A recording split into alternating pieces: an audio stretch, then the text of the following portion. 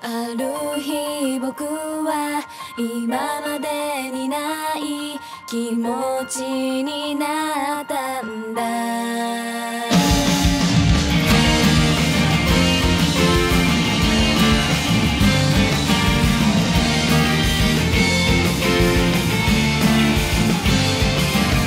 チームのリーもアコースティックギターの A メロの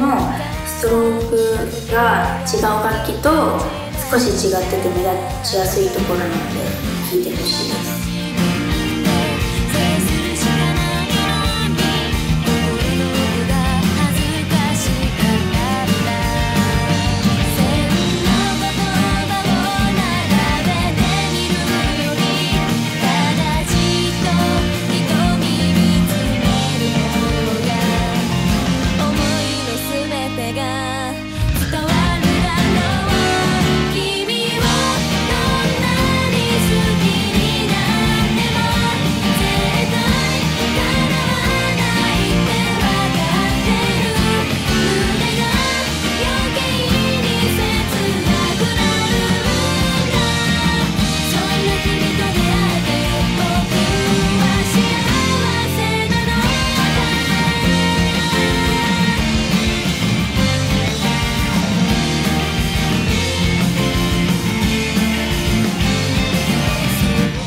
ドが全部パワーコードって言って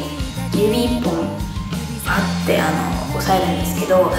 パワーコード自体が難しいのでパワーコードができたら多分全部弾けると思い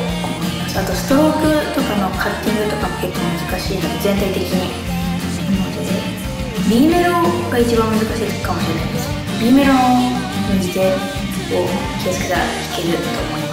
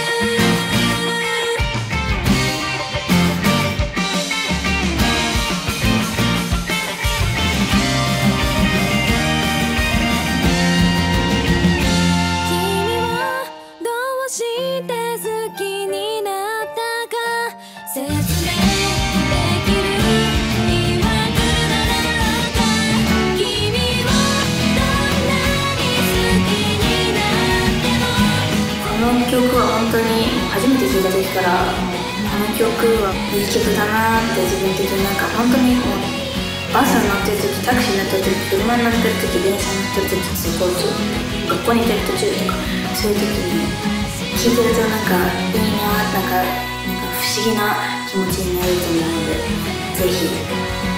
ご注意聴いてください。